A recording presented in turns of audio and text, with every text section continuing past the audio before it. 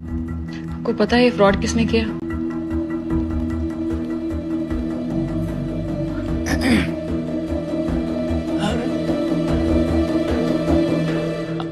Harshad Mehta.